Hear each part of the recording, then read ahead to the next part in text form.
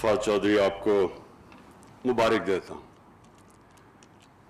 मुबारक इसलिए देता हूँ कि आपने ये एक, आपका जो माइंड सेट है, वो एक बड़ा मुख्तलफ और एक रिफ्रेशिंग माइंड सेट है कि आपने फैसला किया जब आपको मिनिस्ट्री मिली कि ये जो एक डॉर्मेंट मिनिस्ट्री पड़ी है, इसमें कितना पोटेंशियल है और पाकिस्तान सब कुछ बना सकता है। देखिए, मैं आप सबके सामने एक चीज़ रखना चाहता हूँ। जो चीज़ एक कौम को ऊपर लेके जाती है, वो उसके वसाइल नहीं, यानी तेल के ज़ख़ीरे बैठे हों तो कौम प्रोग्रेस नहीं करती। हीरे हों सोना आपकी ज़मीन से निकले, फिर भी कौमें नहीं आगे बढ़ती। क्योंकि अगर बढ़ती होती तो आज कॉन्गो एक बड़ी अमीर कौम बनी होती, नाइजेरिया एक बड़ा एक दुनिया की फास्टेस्ट ग्रोइंग इकोनॉमी होती और और भी आप दुनिया की कौमें देख लें। जो एक कौम को जो क्वालिटीज़ ऊपर लेके जाती हैं, वो सबसे बड़ी क्वालिटी होती है, अंग्रेज़ी का जो लफ्ज़ है सेल्फ बिलीफ एक कौम अपने अंदर बिलीव करना शुरू कर देती है। और वो जब बिलीव करती है, वो जैसे जैसे वो प्रोग्रेस करती है, उसके अंदर ये बिलीव बढ़ता जाता है। वो एक ऐसे स्टेज पे पहुँच जाती है, एक कौम, कि वो समझती है कि जो भी हमारे सामने मुश्किल आए, हम उसका मुकाबला कर सकते हैं। एक कौम जब इस माइंडसेट पे पहुँच जाती है तो वो एक इन्विंसिबल बन जाती है वो कुछ भी कर सकती है। छोटा एक बरतानिया इतना सा ज़ख़ीरा सारी दुनिया के ऊपर हावी हो गया। उसके अंदर क्या थी क्या कौन सी क्वालिटीज़ थी कि वो दुनिया को फतह कर लें?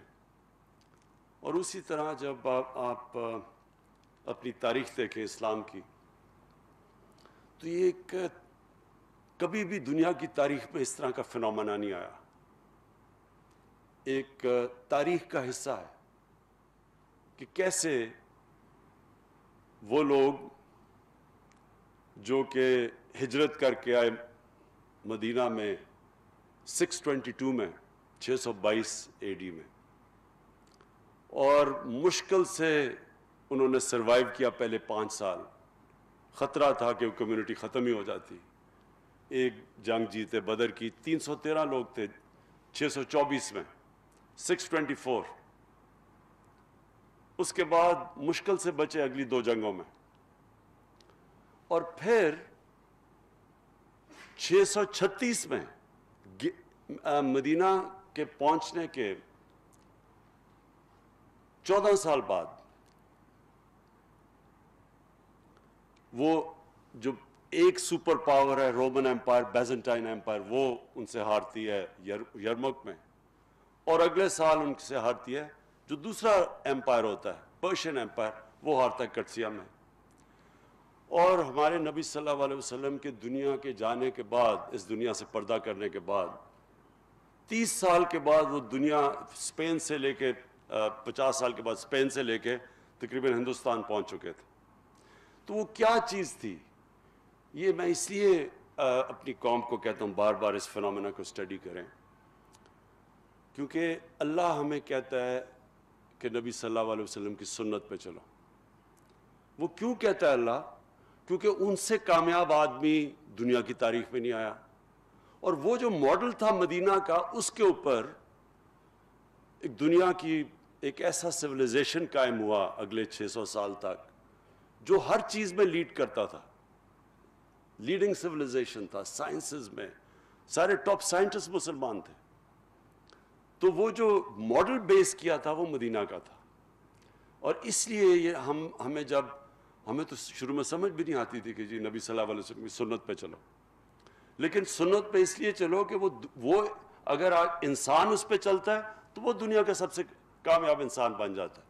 और वो जो स्टेट थी मदीना की, जो प्रिंसिपल्स उन्होंने बनाए थे उस स्टेट के, अगर आप उन पे चलो तो आपकी कौम ऊपर आ जाती है। जब भी मुसलमानों की अगर आप तारीख पढ़ें तो रिवाइवल आई है तो हमेशा कोशिश की गई है उन असूलों को अडॉप्ट करो जिन जो असूल थे मदीना की रियासत में। तो जो सबसे बड़ा असूल था वहाँ एक सेल्फ बिलीफ आ गया था। वो अपने आप को अंदर बिलीव करने लग, लग गए थे। उनको नबी सल्लल्लाहु अलैहि वसल्लम ने जो जेन की लिमिटेशंस हैं जो जो गुलामी है उससे आज़ाद कर दिया था। ये जो जिसको इलामा इकबाल कहते हैं, जो शाहीन था, मर्द मोमन की बात करते हैं, वो एक आज़ाद इंसान होता है। वो ही सिर्फ़ दुनिया में ऊपर जा सकता है सबसे। उसके लिए एक जहन चाहिए होता है, जो बिलीव करता है कि कोई भी चीज़ हो तो मेरे लिए नामुमकिन नहीं है। मैं सब कुछ कर सकता हूँ। ये जो क्वालिटी होती है, इससे एक इंसान अपने अंदर पोटेंशियल डेवलप करता है। अल्लाह ने जब हमें अशरफुल मखलूक़ात बनाया था तो उसने जब फरिश्तों को कहा था कि इसके सामने झुको तो जब शैतान नहीं झुका तो अल्लाह ने कहा कि तुम्हें नहीं पता कि मैंने इसको क्या पावर दी है, इसके नॉलेज क्या दी है। तो वो जो नॉलेज है, वो डिस्कवर कैसे करता है इंसान? वो कभी भी एक गुलाम जहन नहीं डिस्कवर कर सकता। जो सिर्फ़ डिपेंड करता है कि जी अच्छा बाहर से इंपोर्ट आ जाएगी या बाहर से नॉलेज आ जाएगी तो मैं आगे बढ़ूँगा, वो जेन आगे नहीं बढ़ सकता।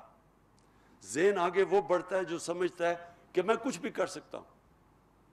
और हमारी जो मुल्क की जो आ, अगर मैं ये समझूं कि इस मुल्क के अंदर जिस तरह ये बढ़ा था एक वक्त पे सिक्सटीज़ में पाकिस्तानी जो दुनिया में व्यू किए जाते थे जो जो पाकिस्तानी के अंदर भी सेल्फ बिलीफ आता जा रहा था वो हमारी बड़ी बदकिस्मती है कि हम अपना रास्ता खो बैठे। वो जो सेल्फ बिलीफ था, वो प्रोपेल कर रहा था इस मुल्क को, जिसके ऊपर प्रोडिक्शंस करते थे कि पाकिस्तान कैलिफ़ोर्निया बनेगा एशिया का। सबसे तेज़ी से तरक्की कर रहा था। अनफॉर्चुनेटली हमारी बदकस्मती कि हमारे अंदर ये जो सेल्फ बिलीफ आना था, वो नहीं आया। जो सबसे, एक चीज़ प्लीज़ याद रखना कि जो हम आर्ग्यूमेंट सुनते हैं जी कलोनियलिज्म आई और उन्होंने लोगों को एजुकेट कर दिया।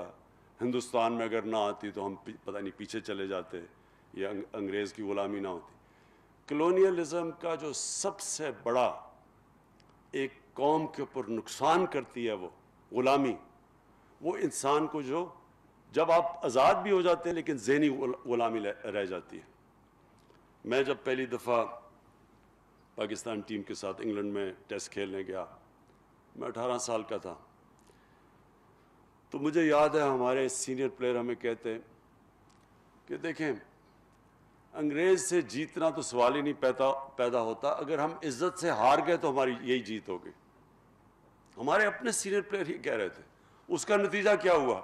हम जो मैच जीतने लगते थे, हम वो कहते थे, वो वो एक्सप्रेशन आता था कि we snatched defeat from the jaws of victory क्योंकि हम अपने अंदर ही नहीं मानते थे कि हम जीत सकते हैं।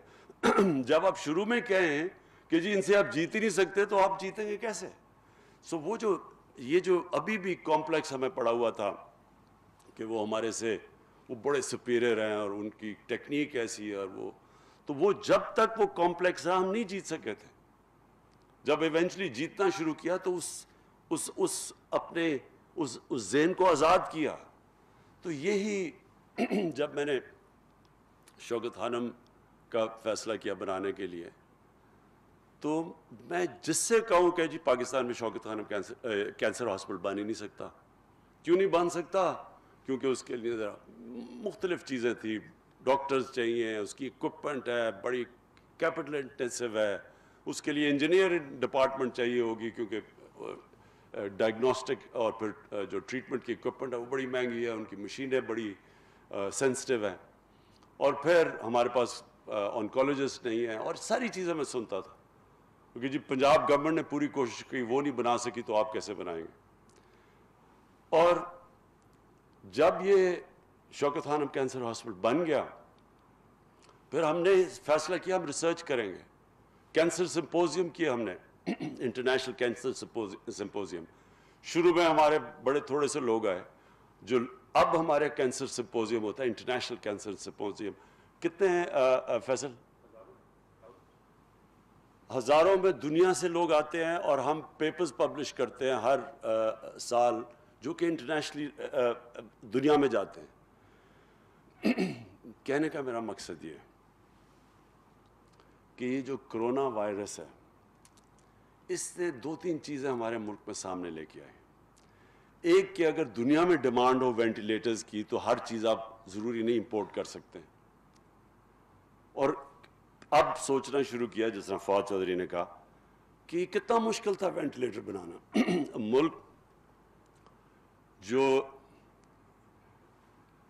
न्यूक्लियर वेपन्स बना सकता है, जिसके लिए वो टेक्नोलॉजी चाहिए तो उसके लिए कितना मुश्किल है। और फिर बाकी जितने भी सैनिटाइजर्स, ये सारी डिसइनफेक्टेंट्स ये यानी एक 22 करोड़ के लोग अवाम कैसे हो सकता है कि हम हर चीज़ इंपोर्ट करते हैं? बिकॉज़ हमारा जो माइंड सेट था अब तक, वो माइंड सेट से हम नहीं निकल पा रहे एक डिपेंडेंसी सिंड्रम है कि जो होगा जी वो हमारे से आगे हैं तो उनसे ही हम, वो जो हमें नॉलेज देते रहेंगे, वो हम लेंगे। हमारे अंदर वो सेल्फ बिलीफ नहीं आया। और हम जो दूसरी सेकेंड नॉलेज इकोनॉमी की तरफ़ हमने कोई प्रोग्रेस नहीं क्योंकि तालीम पे नहीं पैसा खर्च किया। रिसर्च के ऊपर पैसा नहीं खर्च किया।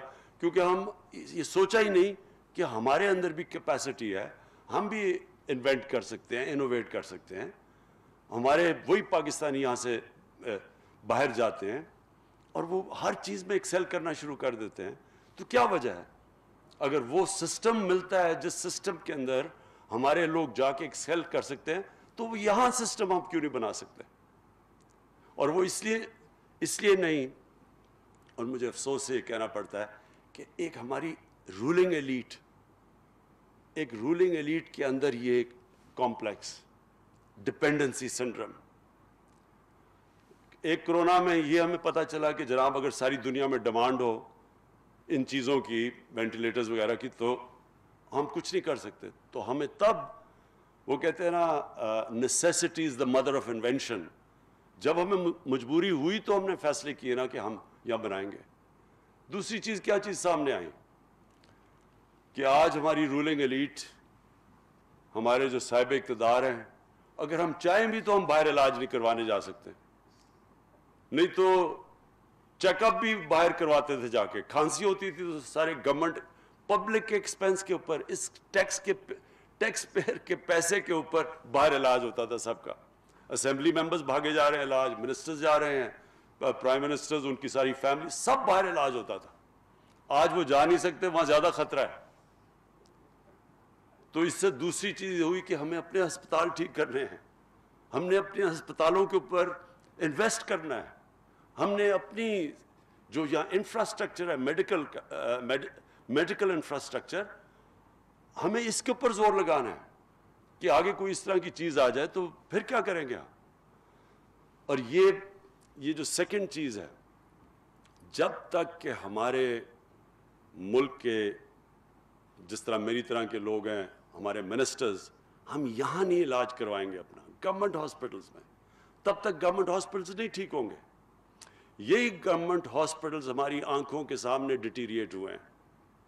मैं पैदा हुआ था मेयो हॉस्पिटल में मेरी सारी बहनें पैदा हुई थी। शुरू में जब भी कोई आ, आ, खेलते हुए कोई चोट लगती थी, टांके लगाने में हॉस्पिटल जाया करते थे।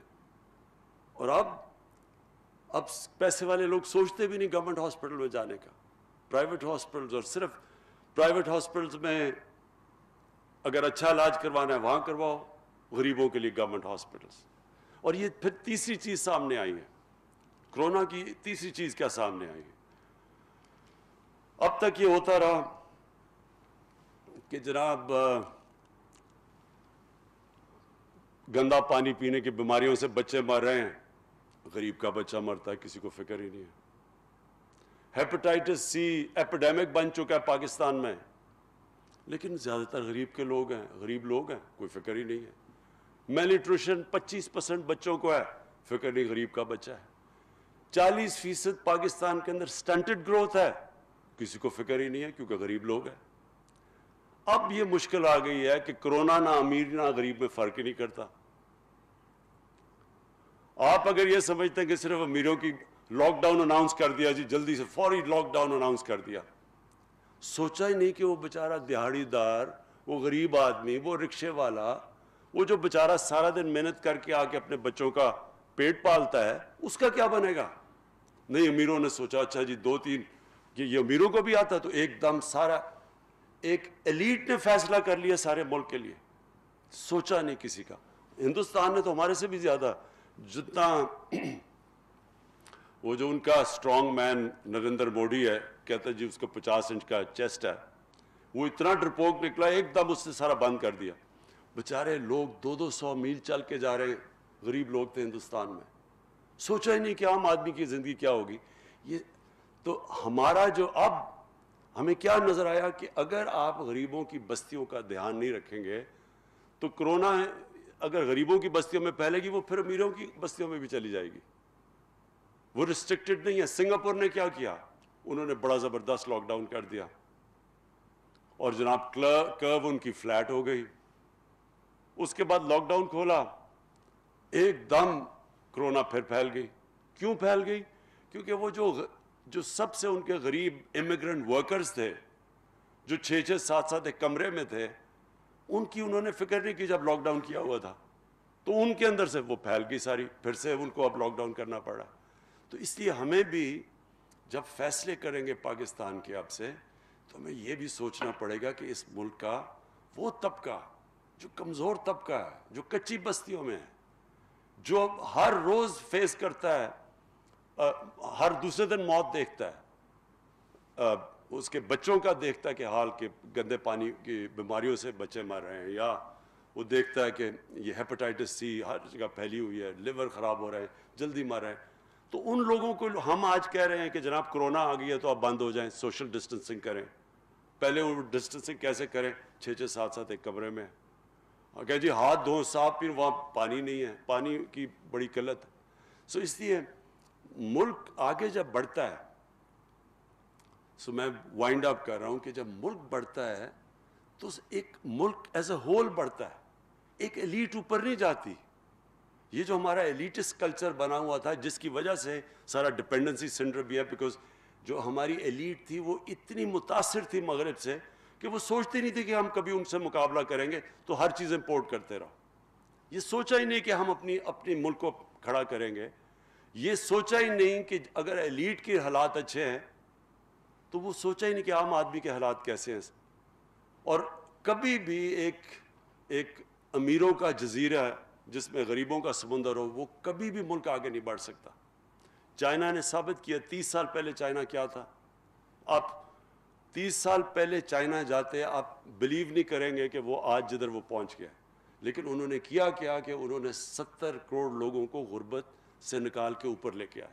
जब नीचे से लोगों को ऊपर लेके आए, मुल्क भी ऊपर चला गया।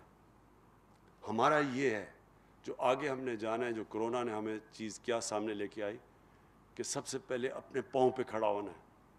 अपने मुल्क में ये चीज़ें प्रोड्यूस करनी है। नॉलेज इकोनॉमी की तरफ़ जाना है। अपने हमें साइंस और टेक्नोलॉजी को आगे लेके जाना है। ये बड़ी अच्छी बात है कि सारी जो जो अमेरिका के अंदर जितनी भी वहाँ जो भी चीज़ें वो इनोवेट होती हैं, चीज़ें जो नई लेटेस्ट टेक्नोलॉजीज़ आती हैं सारी आती हैं, उनकी उनकी जो उनकी जो डिफेंस है, उसकी कनेक्शन है प्राइवेट सेक्टर के साथ, वो वो फ़ीड करते हैं प्राइवेट सेक्टर में। सारी इनोवेशंस और नई चीज़ें और इन्वेंशंस इस तरह आगे आती हैं, इस तरह उनका मुल्क ऊपर जाता है।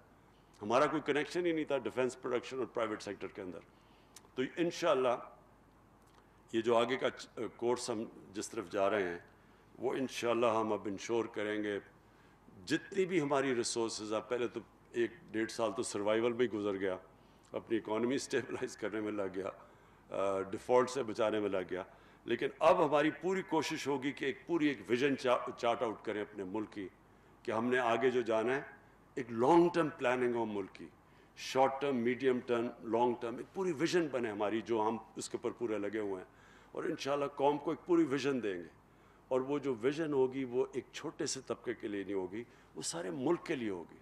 और वो सेंट्रिक इस तरह होगी कि ये जो हम कच्ची बस्तियाँ हैं, हमारी गरीबों की बस्तियाँ, इनको सबसे ज़्यादा अब हमने ज़ोर लगाना है कि इनको हम अपने कैसे उठाना है। वो कौन सी चीज़ें हैं जो कि आम आदमी को ऊपर उठाएँगी? हम कौन सी वो स्टेप्स ले सकते हैं? किस तरह हम लोगों को गुर्बत से निकालेंगे? और हमने चाइना से बड़ी चाइना जब हम गए थे तो उनसे हमने बड़ी डिटेल्स प्रेजेंटेशंस ली। कि क्या क्या उन्होंने स्टेप्स उठाए थे कि अपने लोगों को गुर्बत से निकालने के लिए। और उसके अंदर की ये है लॉन्ग टर्म प्लानिंग ये अ, अ, ये जो अ, एक मुल्क चलता है शॉर्ट टर्मिज्म के ऊपर वो कभी भी ये नहीं कर सकता। हमेशा एक लॉन्ग लॉन्ग टर्म प्लानिंग एक विजन और उसके बाद फिर एक सेल्फ बिलीफ जब एक कॉम बिलीव करने शुरू हो जाती है कि हम कुछ भी कर सकते हैं और हमें एक बहुत बड़ा जो हमारे पास मदद करेगा, ये जो हमारा प्रोग्रेस है और जो ये इंशाल्लाह कौम अपने पोटेंशियल पे जब पहुंचेगी तो हमारे पास एक मॉडल है। हमें पता है कि एक हमारे नबी सल्लल्लाहु अलैहि वसल्लम ने एक मॉडल बनाया था। एक इंसान कैसे ऊपर जाता है, अपना पोटेंशियल अचीव करता है, एक कौम कैसे जाती है। और हमारा जो असासा इस वक्त है, वो प्लीज़ याद रखें ओवरसीज़ पाकिस्तानी। हमारे नबे लाख पाकिस्तानी बाहर हैं। उनमें से एक तो रोज़ी कमाने के लिए काफ़ी गए हैं, लेकिन कई ऐसे लोग हैं, हमारा जो बेस्ट टैलेंट था, क्योंकि हमने एक एक सिस्टम में मेरिट नहीं रखी, एक एक सिस्टम जो मेरिट को डिस्करेज करता था, हमारा जो बेस्ट टैलेंट है, वो आखिर में मुल्क से बाहर गया, और वो हर फ़ील्ड में एक्सेल करते हैं। सो हम जैसे जैसे अपने सिस्टम्स ठीक करते रहेंगे, हमारे पास ये टैलेंट वापस आना चाहता है, वो वापस आएगा जैसे हम अपने इदारे ठीक करते रहेंगे। जिस तरह शौकत खानम था, शुरू में तो यहाँ डॉक्टर्स ही नहीं थे हमारे पास, जो जो जो स्पेशलिस्ट थे, जिनको, जो कैंसर हॉस्पिटल चला सकते हैं।